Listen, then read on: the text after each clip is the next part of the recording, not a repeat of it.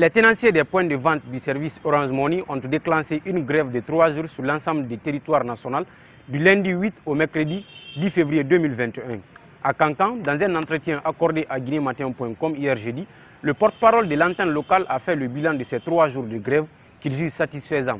Il a aussi déploré le comportement des grossistes qui auraient intimé certains agents d'ouvrir leurs kiosques de transfert.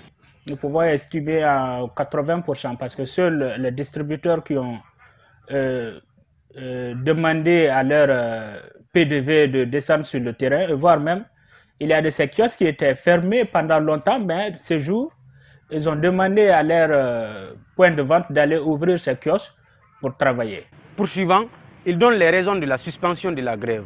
Mais déjà, il se réjouit de cette première phase. nous avons décidé de suspendre le mot d'ordre de grève parce que la grève était lancée pour trois jours. Euh, la première phase, nous pouvons dire que ça, ça a été la phase d'essai.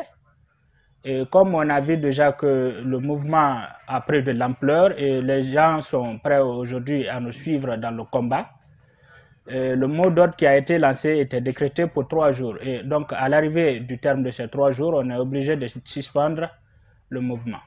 S'ils ne sont pas rétablis dans leurs droits, ces errants de kiosques Orange Money menacent de déclencher une autre grève d'une grande envergure. Évidemment, évidemment. Et puis ça, ça sera dans un bref délai, comme vous le signalez.